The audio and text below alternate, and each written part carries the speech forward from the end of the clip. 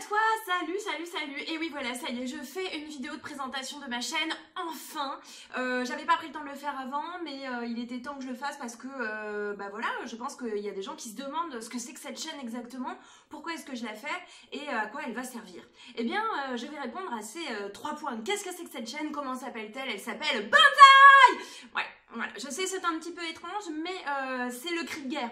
Hein, c'est le cri de guerre, pourquoi? Pour attaquer les maths, parce que depuis toujours, moi quand je dis que je suis prof de maths, on me regarde comme ça, on fait ah, les maths, ouais, prof de maths, mm, mm, mm, super.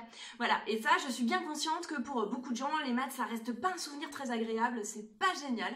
Donc, moi, mon objectif, c'est de te montrer que tu peux apprendre les maths, tu peux, tu peux, tu peux, tu n'es pas nul en maths, ça n'est pas une fatalité, ça n'est pas vrai, ça n'est pas génétique, ne crois pas ce qu'on te dit. Tu peux apprendre les grands principes mathématiques, en particulier ceux du collège, éventuellement ceux du lycée, parce qu'en fait, on peut les rendre très concrets, tu vas t'en servir tout le temps dans ta vie, donc ce sera super. Merci.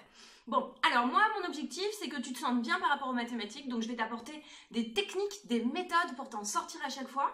Et puis, euh, je vais aussi essayer de t'apporter des petits trucs pour euh, quand tu verras des énoncés, tout ça, et que tu sais pas trop comment faire. Moi, je vais te dire, bah tu vois, si tu vois ça, tu dois penser à ça. Si tu vois ça, tu dois penser à ça. Voilà, l'objectif de ces vidéos, c'est ça, c'est de t'aider en maths à comprendre mieux. Et puis en plus, c'est génial, parce que contrairement à quand tu me vois en cours ou quand tu vois ton prof en cours, et eh ben là, tu vas pouvoir me mettre, pardon, oh là là, tu vas pouvoir me mettre sur pause, tu vois, et parfois, ça fait pas de mal de me mettre sur pause parce que t'en as marre de m'écouter. Et quand tu me mets sur pause, et eh ben c'est trop bien, parce que tu peux souffler, tu peux réfléchir, tu peux revenir en arrière, tu peux passer un petit peu plus loin, tu fais ce que tu veux. Et ça, c'est le plus de la vidéo par rapport à quand tu es en classe. Même si en classe, tu fais tout ce que tu peux pour te concentrer, bah parfois c'est super difficile de suivre. Et puis, tu peux pas te souvenir de tout, en fait, hein, c'est normal. Bon, alors voilà, et puis en plus, j'ai envie de te dire, on a tous nos caractéristiques. Et donc ce site, il s'adresse à toi qui a plein de caractéristiques différentes.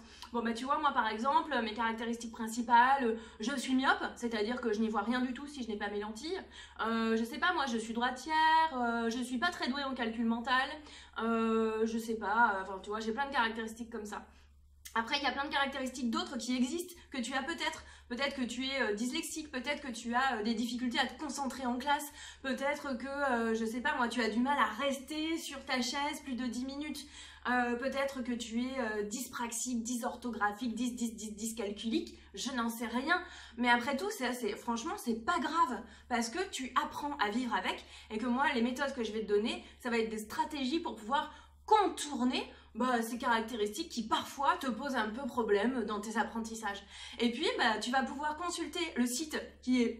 regarde, il est là, il est juste en dessous, tu le vois là? Voilà, j'ai mis le lien juste en dessous.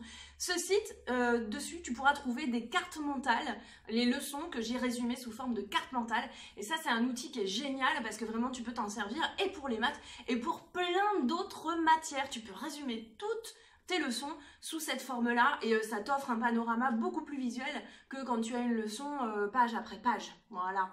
Bon, et bien voilà, c'est terminé. Donc cette chaîne euh, Banzai va t'aider à attaquer de front les maths.